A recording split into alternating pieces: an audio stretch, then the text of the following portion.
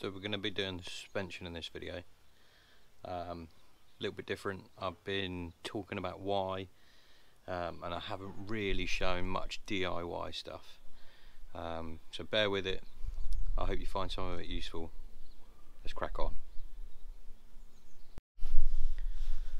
So you'll see um, I've kind of drawn drawn the, the last straw on times when I'm able to do this um, and it's dark.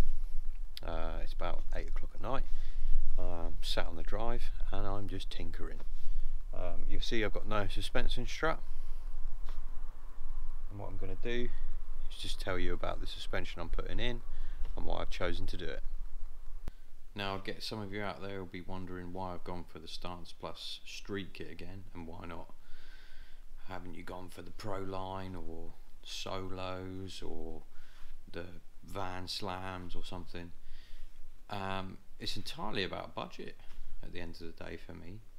Um, I'm building what I would see and what I envisage, as it were, as a as a nice van. Um, and I know that upgrading the rear shocks on the Stance Plus Street Kit to the Gaz short shocks um, is going to improve the rear suspension and then doing a hub mod at the front will improve the front suspension.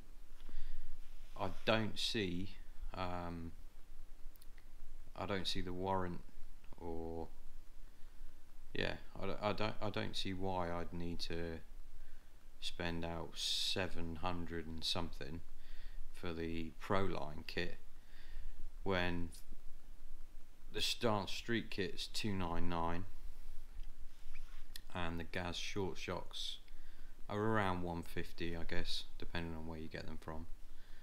Um, and I've got a kit that's as good in my view. Um, so that's that's what I'm going for and that's what I'm doing.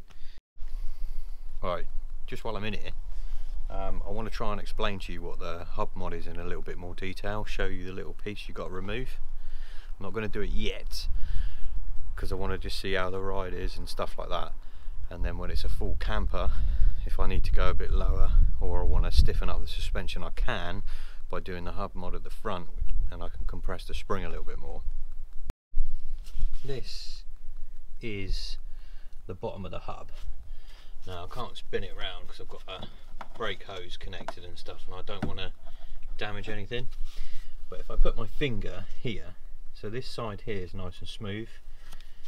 And then this side here there's a lip.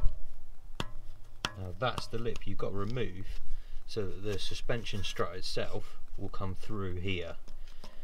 Hence why they call it the hub mod because the hub is here. Let's talk about the rears quickly. Um, I get uh, a message a day asking me about um, do you get knocks and bangs? Uh, I'm getting knocks and bangs from the rears. I'm also getting knocks and bangs from the fronts. Um, can you can you help me out? Um, yeah. So this is my help to you if you've asked me this question, and to others that are about to fit a coilover kit. The rears, the spring goes on the bottom and the adjusters go on top. Simple. Shouldn't get any knocks and bangs. If you're going stupid low and you've taken all the adjusters out, all the spring rubbers and etc like that out, then you may get a knock. But you're choosing to remove everything that's going to stop it from knocking. So it would be, at the end of the day, uh, your own fault. Um, yes, you can buy um, the little plastic like cups or the rubber cups should I say from um, that THQ place or whatever. But for 50 quid I think they are you're better off just cutting up a bit of rubber uh, and using that. Um, in fact the kit itself the stance kit comes with a small rubber piece so it's really thin just use that if you want um, the fronts, on the other hand, you may be getting knocking because either you've fitted your old top mounts and they are a bit shot, should I say, or you haven't fitted the nut off your old suspension. Um, I call it the top mount locking nut, which I guess it is, but you haven't fitted that, so you need to remove it. Now, I've done it here.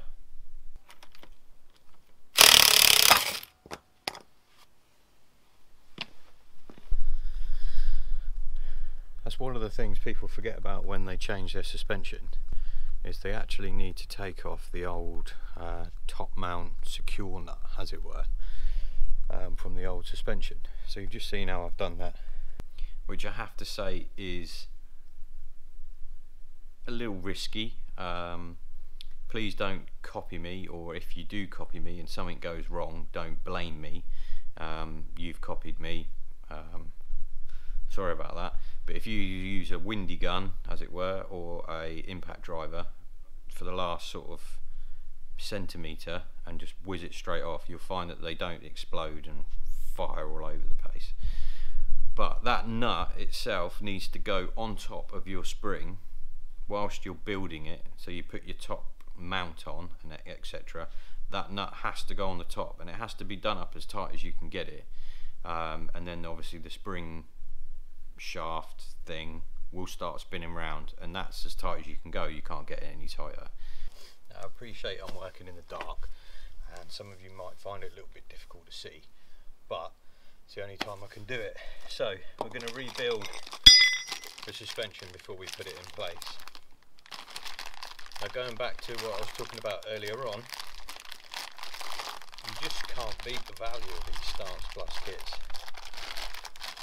I contemplated putting the Stance Plus Pro lines on.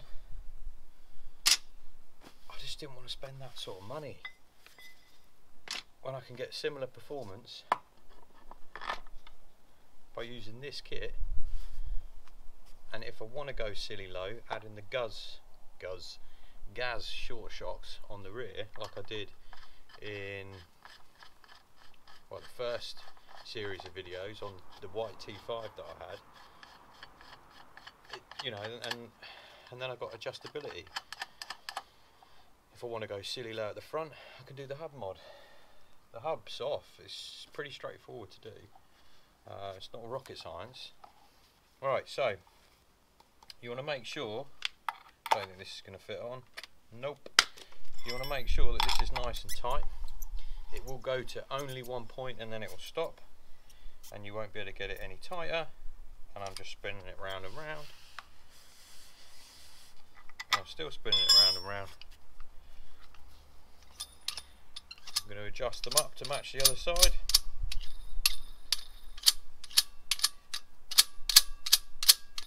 Oh, get all excited. They've done something else, Stance. I feel like they must have listened to me. Right there.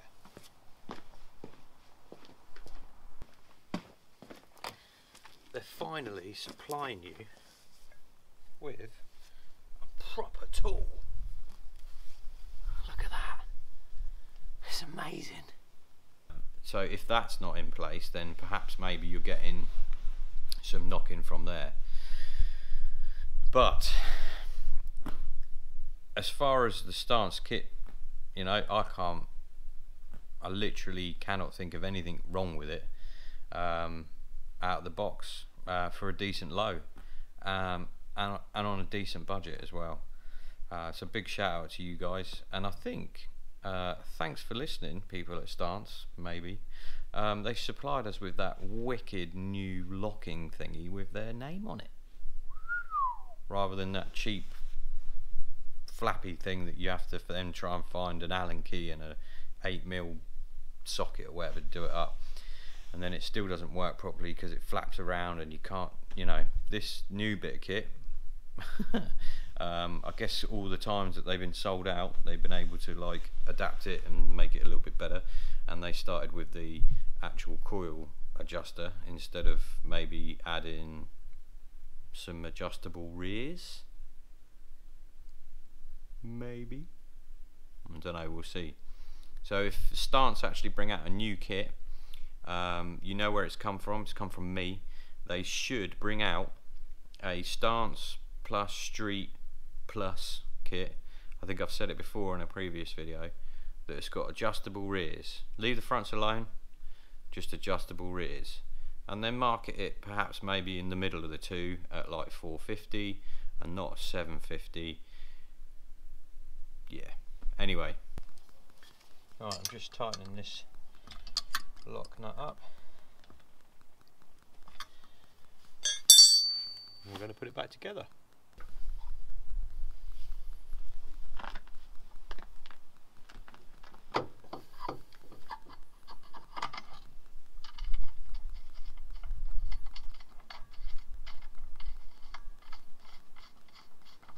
So I'm literally going to do it finger tight because there's no chance of you being able to tighten that up completely.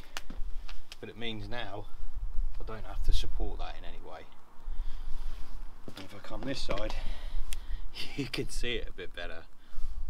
Working in the dark, working nine to five.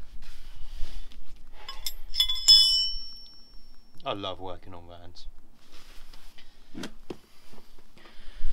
Especially in the dark. You'll notice so far that some of these videos aren't really tutorial wise. Um, it's kind of just showing you what I've been up to and what I'm getting on with. Um, I've got windows to fit, which I'll be doing a kind of a, um, a video on how to do that because um, I want to do um, I want to cut the window out and then I want a carpet line and then I want to put the windows in. Um, I'm going to put two sliders one on the sliding door and one on the other side. And then I've got two solid windows to go in the back although one's going to be fake but I'll talk about that at the time. Um, so yeah thanks for watching guys. I hope you find some of this information useful and I hope some of the videos you watch you find them useful too. That's it for the suspension video guys. Um, again I've gone for the Stance Plus can't fault it value for money absolutely epic. Well I've still got a few little tweaks to do to the suspension. The ride height itself isn't as level as I'd like it to be. Uh, I think the front needs to come down a little bit. I think I'm gonna have to do the hub mod. See you in the next video guys. Thanks for watching. This is Tom. This is T-Dubz. Stay safe